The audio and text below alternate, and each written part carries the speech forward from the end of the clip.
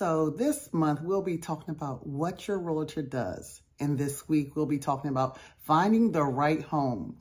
Your new home search is more than scouring Zillow. It's learning your tastes, your likes, your dislikes, needs, and wants, and putting that all together to find the perfect match for you. It is not just about the size, shape, look, or price point. Your realtor does all the digging first to find you the home that's just for you. This is Justine Conteh, the Pender Group, where we believe in service beyond closing.